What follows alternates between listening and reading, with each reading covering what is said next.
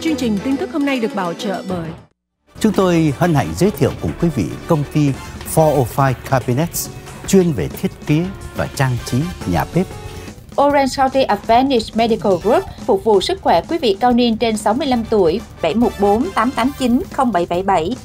TNT Cabot Tile Cabinet chuyên cung cấp vật liệu xây dựng nội thất với giá cả thấp nhất, chất lượng nhất 714 894 1177. Go farther than you ever thought possible in a new fuel efficient Corolla Hybrid Electric, Camry Hybrid Electric, RAV4 Hybrid Electric, and Highlander Hybrid Electric. Dược thảo Princess Lifestyle, sống vui, sống khỏe, sống trường thọ, 1800 990 8319.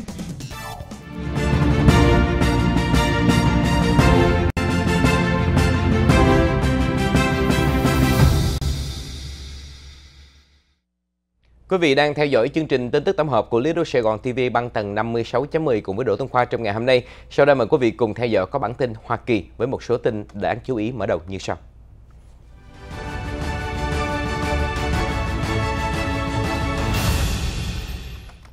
Nghị viên Hội đồng thành phố Los Angeles tạm nghỉ việc vì tai tiếng. Hội đồng thành phố Los Angeles họp khẩn về khủng hoảng hiện nay. Một con chó đã cắn chết một phụ nữ cao niên 80 tuổi ở San Bernardino. Và sau đây mời quý vị cùng theo dõi có bản tin chi tiết. Thưa quý vị, Ủy viên của Hội đồng Los Angeles là bà Nuri Martinez vào sáng nay thông báo bà sẽ nghỉ phép dài hạn hôm nay trong bối cảnh những lời kêu gọi từ chức đang diễn ra sau khi một đoạn ghi âm tiết lộ những quan điểm kỳ thị và xúc phạm được đưa ra vào cuối tuần qua. Khi đưa ra quyết định, bà Martinez tuyên bố đây là một trong những khoảng thời gian khó khăn nhất trong cuộc đời tôi và tôi nhận ra đây là hoàn toàn là do tôi tự tạo ra. Tuyên bố được đưa ra trước cuộc họp của Hội đồng thành phố Los Angeles dự kiến vào lúc 10 giờ sáng nay. Cũng theo thông cáo báo chí, bà Martinez ghi nhận tại thời điểm này thì bà cần phải xin nghỉ phép và dành chút thời gian để trò chuyện chân thành và chân thành với gia đình, các cử tri của bà và các nhà lãnh đạo cộng đồng. Nghị viên Martinez đã từng à, từ chức chủ tịch hội đồng vào ngày hôm thứ Hai nhưng không rời khỏi ghế của mình trong hội đồng. Điều này đã gây ra phản ứng dữ dội trong số những người muốn bà từ chức. Ông Mike Bonin là một trong những nạn nhân là mục tiêu của các câu kỳ thị của bà Martinez đã được thị trưởng Los Angeles là Eric Garcetti, thượng nghị sĩ Hoa Kỳ Alex Padilla và nhiều người khác tham gia kêu gọi bà này từ chức. Và Hội đồng thành phố Los Angeles họp khẩn, à, Hội đồng thành phố Los Angeles đã mở một cuộc họp vào sáng nay khi các cuộc gọi ngày càng lớn hơn yêu cầu ba thành viên thành phố từ chức sau khi âm thanh bị rò rỉ từ cuộc họp năm ngoái, tiết lộ là các nhận xét phân biệt chủng tộc và xúc phạm vào cá nhân người dân Los Angeles. Đây là cuộc họp đầu tiên kể từ khi vụ bê bối liên quan đến các thành viên hội đồng đưa ra các bình luận phân biệt chủng tộc đã nổ ra vào cuối tuần. Ủy viên hội đồng Nuri Martinez đã tham gia một cuộc họp vào tháng 10 năm 2021 về việc tái phân chia khu vực với các thành viên Gil Cedillo và Kevin De Leon và lãnh đạo công đoàn Ron Herrera khi mà Martinez đã đưa ra những bình luận xúc phạm về con nuôi của Ủy viên hội đồng Mike Bonin. Bà nói trong đoạn băng ghi âm là anh chàng da trắng này với đứa trẻ da đen nhỏ của anh ta, người đã cư xử không đúng mực Bà còn nói đứa trẻ không giống như là một con trông giống như là một con khỉ nhỏ bằng tiếng Tây Ban Nha và nói rằng họ đang nuôi dạy nó như là một đứa trẻ da trắng và theo tôi, đứa trẻ này cần được dạy dỗ lại. Bà Martinez cũng có thể được nghe thấy đưa ra những bình luận phân biệt chủng tộc về luật sư quận Los Angeles George Gassion vì anh ta đã ở với người da đen và về những người Oaxacan ở Koreatown mà Martinez gọi là những người lùn đen tối.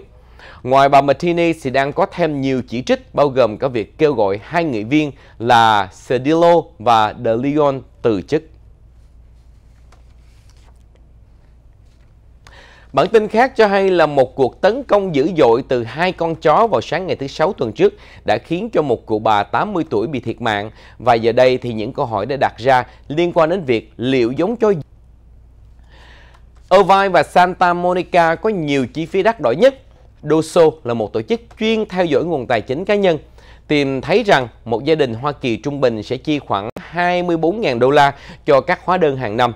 Trong trường hợp này, hóa đơn bao gồm có 10 loại. Thứ nhất là nợ, tiền thuê nhà, khoản vay mua xe, tiền điện nước, tiền bảo hiểm, tiền dịch vụ Internet, điện thoại, bảo hiểm sức khỏe, điện thoại di động, báo động và an ninh và bảo hiểm nhân thọ.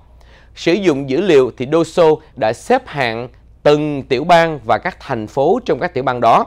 dựa trên số tiền người dân chi tiêu trung bình cho các hóa đơn hàng tháng. Nhìn chung thì DOSO đã xác định rằng cư dân ở Hawaii có hóa đơn trung bình hàng tháng cao nhất là 2.900 đô la. Cư dân của California cũng không kém xa với mức trung bình cao thứ hai là 2.649 mỗi một tháng. Trong số các gia đình ở California thì hóa đơn điện thoại di động là phổ biến nhất và có giá trung bình là khoảng 113 Mỹ Kim, phù hợp với mức trung bình của cả nước. Trên 10 danh mục hóa đơn được DOSO xem xét, tất cả trừ hai loại đều cao hơn tỷ giá quốc gia. Bảo hiểm xe là 140 đô 163 đô la so với 196 đô la và bảo hiểm y tế là 122 đô la so với 123 đô la. Sự khác biệt lớn nhất giữa tiểu bang California và các hóa đơn trung bình quốc gia là giữa chi phí nhà ở, bao gồm tiền nợ nhà và tiền thuê hàng tháng. Và dĩ nhiên thì thành phố Irvine là một trong những thành phố mà có giá nhà lên tới hàng triệu đô la và dĩ nhiên thì đời sống của những người sống ở đó nó cũng cao hơn những nơi khác chi phí về sức khỏe chưa kể đến những căn nhà ở ờ, nơi đắt tiền họ còn phải trả thêm một cái chi phí đó đó là bảo hiểm về động đất nữa thì hàng năm cũng phải chi ra khoảng tiền 2 tới 3 ngàn đô la.